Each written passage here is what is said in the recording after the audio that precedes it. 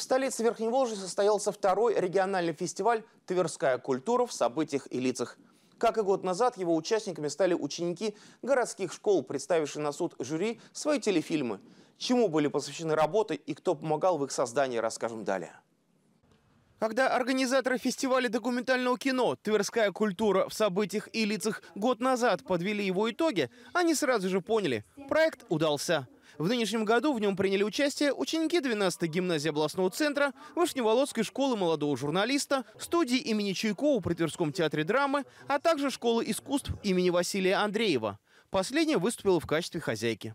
Приветственное слово организаторам, участникам и гостям направила сенатор от нашего региона Людмила Скаковская.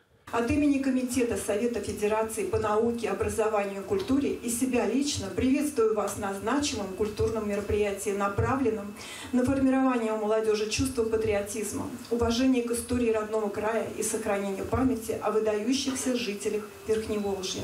Желаю вам вдохновения и успешной работы. Людмила Николаевна Скаковская. На рассмотрение членов жюри в финале было представлено 12 документальных фильмов.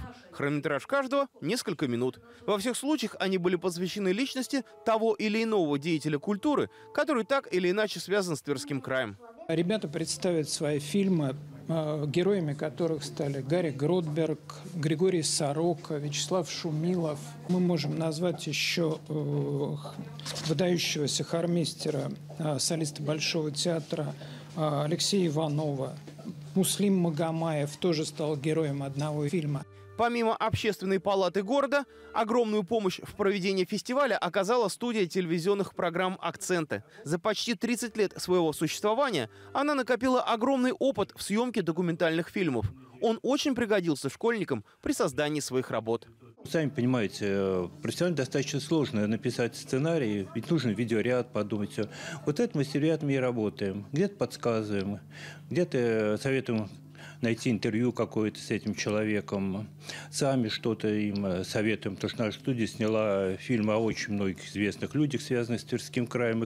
Все финалисты были отмечены памятными дипломами и ценными призами. Именно ценными, потому что это сертификаты на покупку в одном из крупнейших тверских книжных магазинов.